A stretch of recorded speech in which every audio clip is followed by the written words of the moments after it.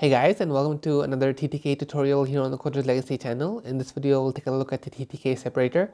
The TTK separator is one of the six widgets introduced by TTK and it's one of the more, more minor ones and it doesn't really do much.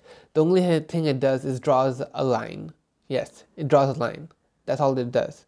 And as the name implies, it's basically used to separate widgets kind of. Like you have two widgets then you can kind of draw the separator between them to sort of you know so show some separation. It's i guess it's good if you have a whole bunch of widgets packed into a small space and you want to show that uh, there's some grouping being done okay? Uh, so without further ado let's just go ahead and demonstrate this real quick okay? I'll just create a frame here okay and master all right pack the frame in. And then we'll create some widgets just one or two widgets so that we can sort of show the the separator separating them okay? And this will be frame. Text will be something simple like hello world okay? Pack the label in. Dot pack. Pad x equal to 5 pad y is equal to 5 let's just copy the label and there we go. All right, so now we need to separate these two widgets if I run this code, currently, uh, you know, what if we want to sort of show a line between them, just draw a line between them. So let's try and do that. And I'll just define the size of the window as well, just so it looks a bit, a bit better. Geometry. 200 by 150 good enough. All right so I'll make the separator. I'll just call it sep ttk dot separator. Okay frame. And there is a parameter but we'll get to that in a minute. Let's just do this step by step. Pad x is equal to 5 pad y is equal to 5 and there we go. All right uh, the separator actually has shown up, but you can't see it because, I mean, well, maybe you can. It's that tiny little dot over here. You see this tiny dot? Because it's basically on its default size right now, okay? As it turns out, there isn't really any way you can actually change its size. You can't do something like width is equal to 200 here or something. You can't do that. Uh, what you actually do is this.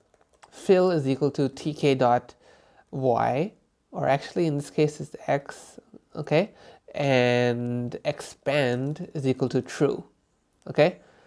Let's see if this works. Yes, there we go. All right, now let me just explain the logic behind this and what's really going on here. All right, basically, fill uh, allows it to expand. Okay, it can take three options. Fill can be tk.x, tk.y, which means uh, to either expand in the x direction or in the y direction, or it can be tk dot both, which, which means expand in both directions. But in this case, we wanted to expand in the x direction, right? We want the separator to expand in the on along the x-axis, okay? And we need to turn the expand is equal to true option on because this is disabled by default. The expand is equal to true option is something available on you know pretty much all widgets and it's basically used to determine whether it'll increase its size to fill all available space okay? If it's true then it'll expand okay? Because currently it's expanded to the size of the frame the size of the frame around it okay? You can't see the frame right now. Uh, actually you know what? Let me just do this No? Alright, let's just go with this then. Okay, of course, of course. This is a TTK frame. Alright, alright, alright. I got it. Alright, so uh, TTK actually changed this system.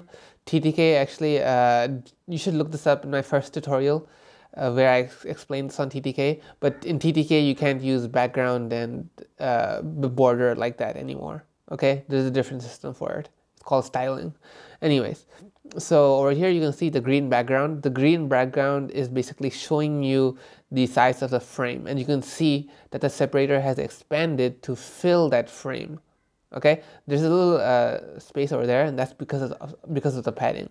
Okay, so what if I wanted to make the separator even larger to fill up the entire window?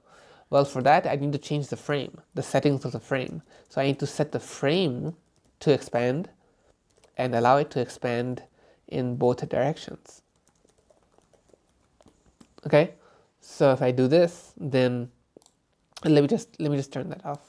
Okay. All right, so there you go. There you can see that the widget positions have changed as well because, of course, the size of the widget changed, uh, the size of the frame changed.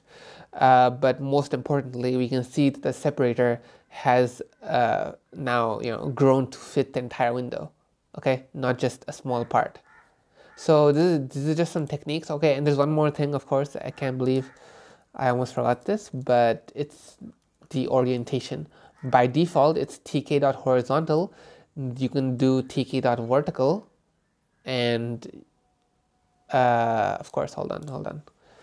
You need to change the fill to tk.y. All right, so that's basically uh, our separator. Okay, there isn't much to it, and mostly it was just related to these fill and expand commands and the orient. That's all there was to it. So I hope you guys found this video interesting. I hope you guys learned something new today. And I hope you guys subscribe to the channel and stay updated with future videos. All right, see you later.